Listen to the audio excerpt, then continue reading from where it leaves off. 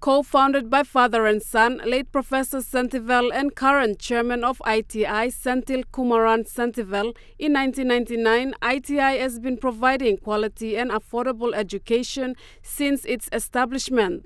With the team From Vision to Achievement 25 Years of Education Excellence, the chairman revealed that the institution has two new diploma programs that will commence in the second half of the year. Uh, that's relating to tourism and small business. Uh, we are about to start that in the second half of the year.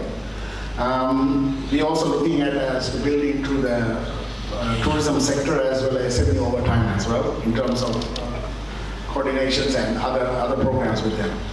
Um, so actually today, uh, we actually, interesting enough, we actually starting, we have a research, but we're going to have someone full-time doing the research.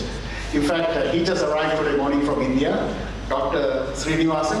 So he just arrived here, so he'll be looking out for heading our research facility, faculties, and looking at for students and staff as well. So there'll be more coordinated effort on that side.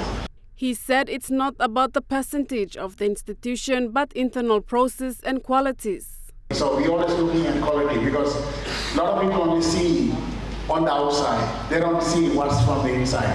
So a lot of the audits we did gave us a lot of clues on how to improve and all that from the leaders.